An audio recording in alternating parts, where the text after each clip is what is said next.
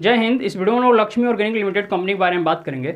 यदि आपका इस कंपनी में इन्वेस्टमेंट है या आप नया इस कंपनी के शेयर को बाई करना चाहते हैं तो आपके लिए पक्का काम की खबर होने वाली है। क्योंकि इस कंपनी से रिलेटेड दो प्रमुख न्यूज़ निकलकर सामने आए हैं, जिसका आपके लिए जानना बेहद ज़रूरी है। तो आइए बिना किसी देरी के डायरेक्ट मुद्दे पर आते हैं और काम की बात शुरू करते हैं। सबसे पहले हम लोग देखेंगे कि जो लक्ष्मी ऑर्गेनिक कंपनी इसका पूरा नाम है, लक्ष्मी ऑर्गेनिक इंडस्ट्रीज़ लिमिटेड। यह काम क्या करती है? क्योंकि जब भी आप किसी कंपनी का शेयर बाई करते हैं, उसमें इन्वेस्टमेंट करते हैं तो आपके लिए जानना बेहद ज़रूरी होता है कि कंपनी का बिज़नेस मॉडल क्या है? आप जब बिज़नेस मॉडल को समझकर पैसा लगाते हैं तो आपका पैसा डूबने का चांस बहुत कम हो जाता है। तो समझिए, यह जो कंपनी एक केमिकल प्रोडक्ट बनाने का काम करती है, जैसे इथाइल एसेटिक एसेटिक एसिड और डीडीपी जैसे केमिकल प्रोडक्ट एक कंपनी बनाती है।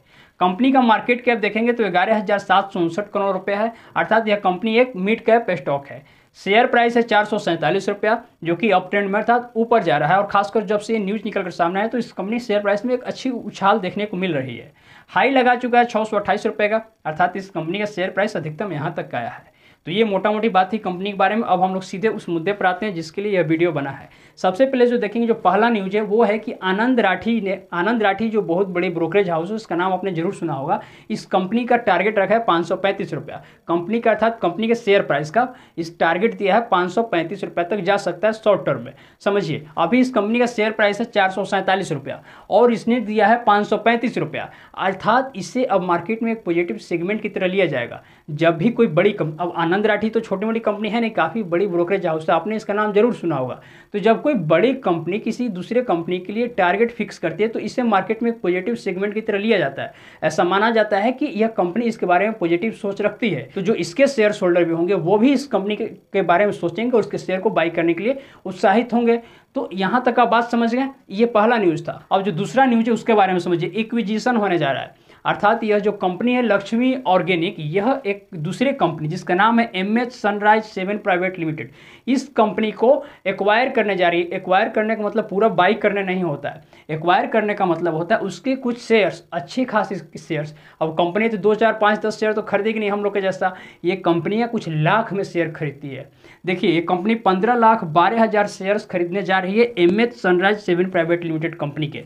और यह पंद्रह लाख बारह हज़ार शेयर्स होते हैं, छब्बीस प्रतिशत। अर्थात इस कंपनी के जितने शेयर्स बाज़ार में पड़े हुए हैं, उसका 26 प्रतिशत शेयर यह जो लक्ष्मी ऑर्गेनिक कंपनी उसको बाई करने जा रही है। अब समझिए सबसे पहले कि कोई कंपनी किसी दूसरे कंपनी को एक्वायर क्यों करती है। मेरा एक फेवरेट एग्ज़ाम्पल है, उसी को मैं बार हर वीडियो में बताता हूँ, आप समझिए। मान लीजिए कोई बिस्कुट बनाने वाली कंपनी है और वह कंपनी चाहती है कि वो चॉकलेट भी बनाएगी तो दो विकल्प हैं। या तो कंपनी अपनी ही कंपनी में चॉकलेट बनाने लगे या किसी चॉकलेट बनाने वाली कंपनी को खरीद ले।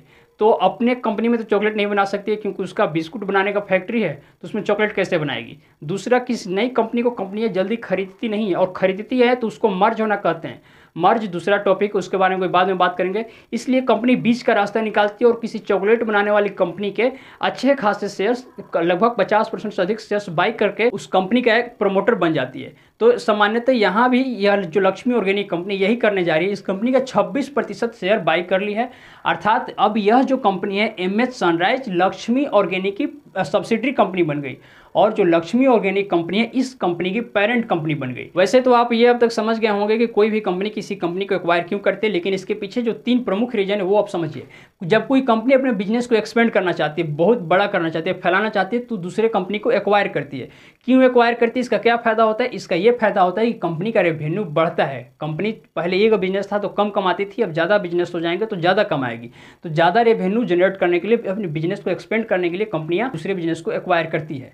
इसका एक फ़ायदा ये भी होता है कि कंपनी का जो कॉन्सोलिडेटेड रेवेन्यू होता है, वो बढ़ जाता है। क्योंकि पहले कंपनी के पास एक बिज़नेस था, अब बहुत सारे बिज़नेस हो गए तो सबका रेवेन्यू जोड़कर जो डाटा पेश किया जाता है, उसको कॉन्सोलिडेटेड रेवेन्यू कहते हैं। यह कंपनियों को बढ़ जाता है।